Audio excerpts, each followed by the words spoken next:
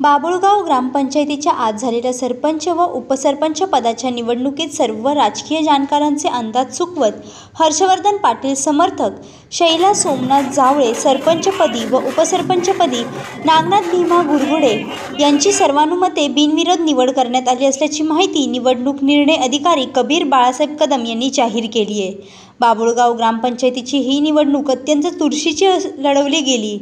यामध्ये हर्षवर्धन पाटील समर्थक हनुमान ग्रामविकास पॅनलने राष्ट्रवादी काँग्रेसचे पुरस्कृत जयभवानी ग्रामविकास पॅनलला धूळ चारत नऊपैकी नऊ जागांवर विजय मिळवत बाबुळगाव ग्रामपंचायतीवर एक हाती वर्चस्व स्थापन केलेत सरपंच व उपसरपंच पदाच्या निवडणुकीत सर्वसामान्य व शेतकरी कुटुंबातील शैला सोमनाथ जावळे व नागनाथ भिवा गुरगुडे यांच्या निवडीमुळे बाबुळगावकरांनी समाधान व्यक्त केले. प्रतिनिधी जितेंद्र जाधवसह आधार न्यूज इंदापूर. ताज्या घडामोडींसाठी आधार न्यूजला सबस्क्राईब